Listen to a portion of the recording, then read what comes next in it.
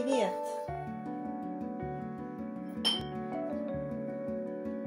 Шестое мая наступило. Какой-то там уже по счету день эвакуации. Доброе утро.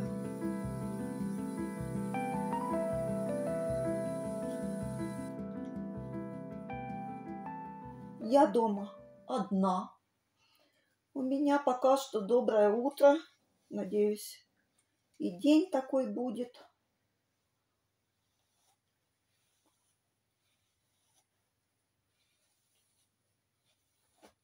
Так, косы надо расчесать. И хвостик завязать. Хвостик наше все. Так.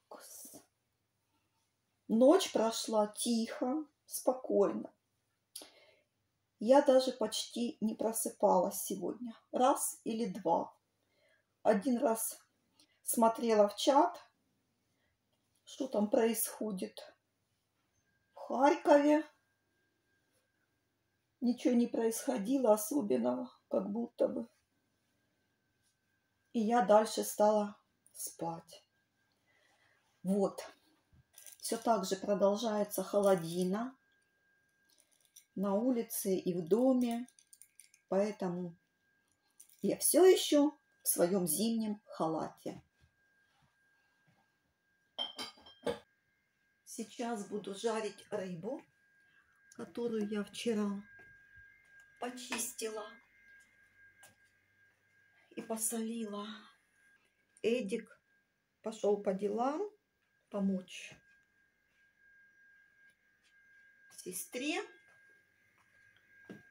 А я сейчас буду жарить рыбу. Рыбу пожарю, потом поем. Так, где она у меня здесь? В миске посоленная. Ай, так, пошли. Пошли, пошли. Будем жарить. Я не знаю, может она уже там в таранку превратилась за ночь. На вид нормально выглядит. Так, сейчас начну жарить ее. Посмотрите, какая у меня есть супер винтажная сковородка. Такая колоритная. Класс. Люблю такие сковородки. У нее такая вмятина по дну. Надеюсь, это не помешает жарке рыбы. Огонек горит. Сейчас будем жарить. Вот так у меня идет процесс. Рыбка жарится, мука рядом. Там сырая рыба. Все под рукой. И здесь комфорка. Она не делается ни больше, ни меньше. Вот как включилась сразу. И все на одном уровне огонь. Но мне так очень подходит, потому что рыба не горит. Рыба готова, можно кушать. В этот раз не очень сильно зажарилась. Ну как, не, не так, как в прошлый раз. Потому что в прошлый раз у меня был очень сильный огонь. А сегодня на среднем огне она жарилась. И она жарилась дольше. И получилась светлее. По-моему, выглядит идеально. Я, как всегда, в муку добавляю черный перец, если он есть. Можно и соль добавить туда, крупинки, и мускатный орех можно добавить. Но у меня в этот раз только черный перец. Вон, видите, капочки такие с перца. Очень вкусно. Таким образом. Так и хочется съесть, но, говорят, горячую рыбу есть нельзя может стать плохо. Так что не ешьте горячую рыбу, чтобы вам было хорошо. Вчера приходила тетя Галя и принесла сушку из грушки и вот такую вот пастилу. Сама делала из абрикос. Ну, вкусненькая штучка. Вообще молодец тетя Галя. Спасибо ей за грушки и за пастилу.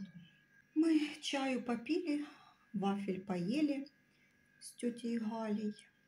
Она еще два яйца принесла, домашних. Таких маленьких. Наверное, не кондиция, но очень вкусненьких. Ну, я сейчас рыбки наелась. Теперь чаюк пью. С грушками и пастилой тети Гали. Привет, Степан! Привет, Степан! И не только Степан. Вот за- Мяу. Он плачет. Ой, ты... Ой, красивый. Наташа вечно найдет, да?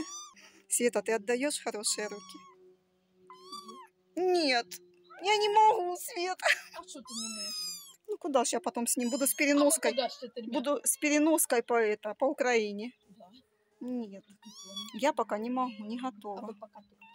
Боже, окошко какая красивая. Мур! Кс-кс-кс-кс. Глянь, глаза голубые какие. Это не овсянка. Да я не заберу его. Ай, ля. На, по полику его можно пускать, Свет? Ой, Ну, там половинка была. Света, его можно на, Да, на да, пол пусть ставить? страшно. Она его сейчас за шкирку и понесет. Давай, давай, я тебе помогу. Давай, Она его хочет унести, да? маленькая моя. Нагулялись. И такая там есть. Зайка Нася, да? Ой, ну у кошки глаза голубые. Так у этого тоже голубые. Да, я, я видела. Не соблазняй меня голубыми глазами.